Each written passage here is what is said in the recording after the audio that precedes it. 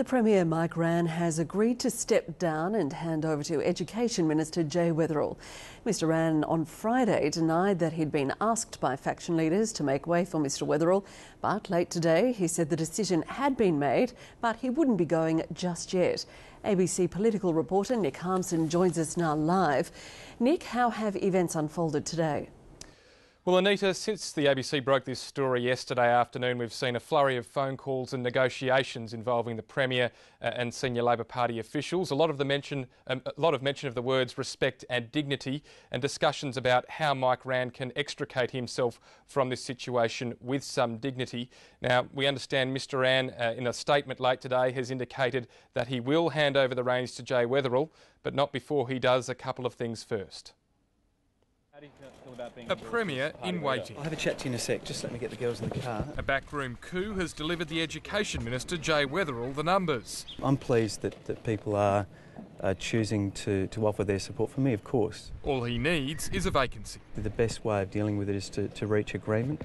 Uh, that would be a good thing for uh, the Labor Party, but also for the state. The Treasurer, Jack Snelling, and Union leader Peter Malinauskas delivered the message to Mike Rann on Friday that Mr Weatherill had consensus support. That night, the Premier was defiant. I, I, think that you need to check on your, your sources. I have absolutely no intention of retiring. This morning, the Treasurer didn't deny he'd told the Premier to leave. If I've got something to say, I'll talk no, to you later today. But late today, after speaking with Mr Rann, the denial emerged. There was also some talk about the timing of such a transition. But can I make absolutely clear that there was no ultimatum delivered to the Premier at any stage of that meeting? Soon after, the Premier issued a statement acknowledging that Jay Weatherill would succeed him and pointing to an announcement on his return from a trip to India. Mr Rann wants to complete negotiations with BHP Billiton over the Olympic Dam mine before he goes. That's expected to happen in September or October. His downfall may not be as swift as some former Labor leaders, but the comparisons can and will be made.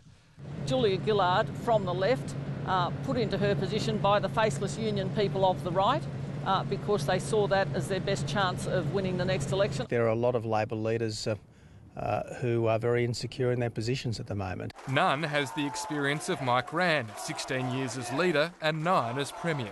He should and, of course, will be given the opportunity to leave with dignity, and that's the right thing to do. Mike Rann, of many Labor leaders, certainly deserves to be treated with a great degree of respect and dignity. People should behave respectfully. I always have, and others should too. One man's respect is another's treachery.